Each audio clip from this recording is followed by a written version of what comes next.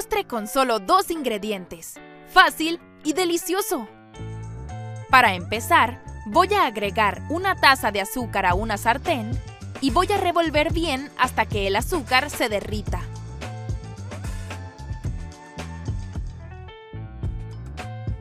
Luego, voy a agregar media taza de agua y voy a remover nuevamente para que este almíbar se diluya.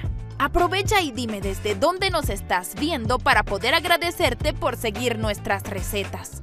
Luego voy a verter este almíbar en un molde y esparcirlo bien.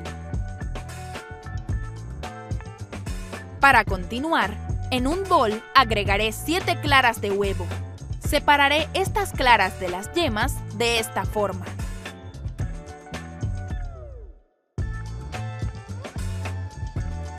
Voy a batir estas claras a punto de nieve.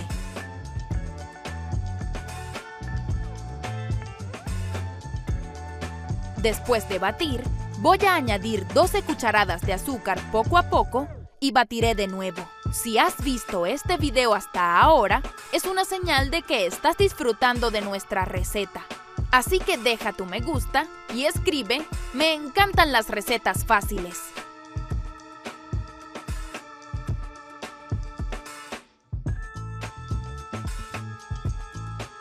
Ahora voy a agregar esta crema batida dentro del molde con ayuda de una cuchara y la voy a esparcir bien.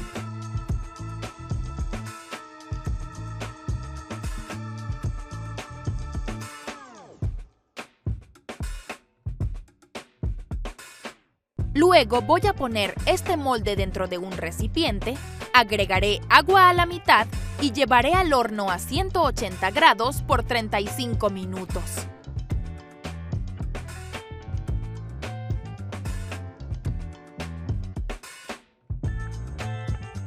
Y nuestra receta está lista. Ahora solo disfruta. Chicos, esta receta es muy fácil de hacer y queda muy rica. Seguro que a todos les gustará el resultado.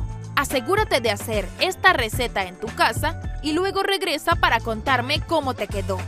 Nos encantaría saberlo. Realmente espero que la hayan disfrutado. Muchas gracias por verla hasta ahora. Nos vemos en el próximo video. Adiós.